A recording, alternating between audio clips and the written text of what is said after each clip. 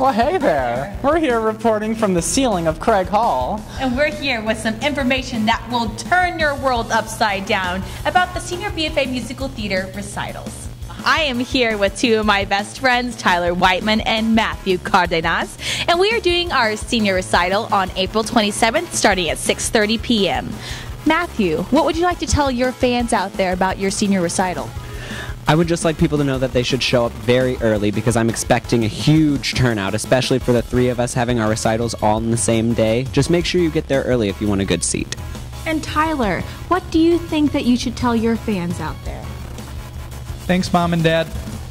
That's great. Tyler, how did you go about choosing your pieces for your recital?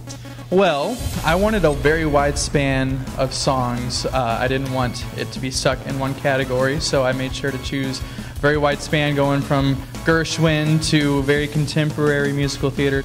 And you? Um, I just picked a lot of songs that have really meant a lot to me over the years. Some of them I'm revisiting that I haven't visited since like freshman year, and I worked on them with uh, my voice teacher and Heather Llewellyn, and we chose the best. I hear there's another event happening on that same day. Matt, would you tell me a little bit about that? There is um, the senior musical theater majors who uh, performed their showcase in New York City are going to. We are going to represent that at Juanita K. Hammons Hall for the Performing Arts at two o'clock on that day. With the jazz band. Just With the jazz band. You heard it here first, folks.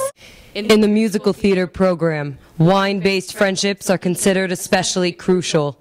In Springfield, Missouri, three musical theater majors formed an elite bond known as Maddie, Mary Kate, and Allie.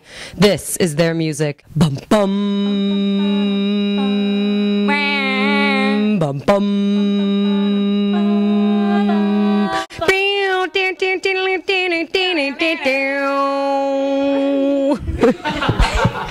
I got lost. Our senior recital is May 2nd. In Coger Theater at 7 p.m. And there will be a reception following. at the Walnut Street Inn.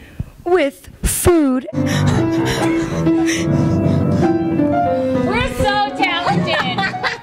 I'm doing a nice 30 minute set, and it should be really nice. Uh, one of my favorite songs to sing is uh, I Think I May Want to Remember Today, which is opening and closing the little show I've got planned for you, so be prepared. And um, a few other fun numbers you'll just have to show up for.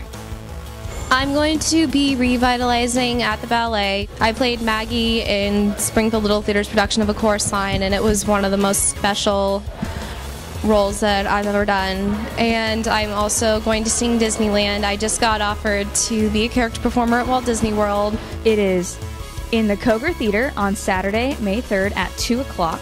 Lizzie's is right after mine at 2.30. You can either come for both or you can come for one and leave for the other. It doesn't cost anything to get into the recitals, completely free.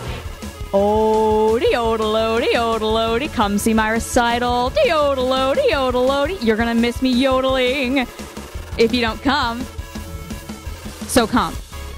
I'm going to Disney World.